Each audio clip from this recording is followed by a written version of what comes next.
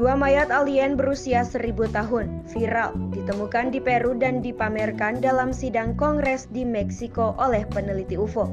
Mayat-mayat alien tersebut telah diuji oleh ilmuwan dan dinyatakan memiliki usia sekitar seribu tahun berdasarkan pengujian radiokarbon. Sebagian DNA mereka tidak dapat diidentifikasi. Selain itu, salah satu mayat alien diklaim memiliki telur di dalamnya dan mengandung implan logam langka.